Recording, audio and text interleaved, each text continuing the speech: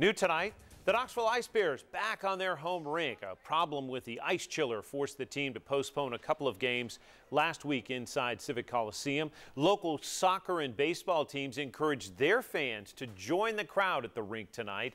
Visual storyteller Jillian Taylor takes us there.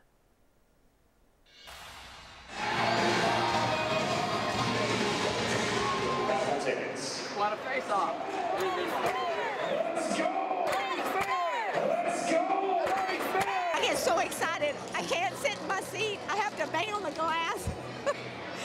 So much fun. We love it. We never miss a game. Bang on it, bang on. Hit him. We're the M1 Mafia, and we're here to support the Ice Bears on Pugs and Princesses Night. With Christmas coming up so soon, only three days. Be on your best behavior. I'm watching.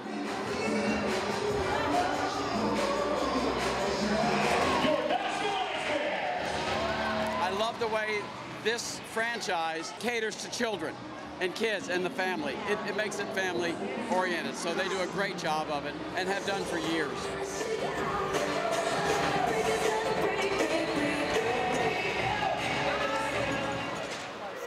It's fast. It, there's a lot of action. You got to stay in the game to, to see what's going on. For a guy who can't skate, I love hockey.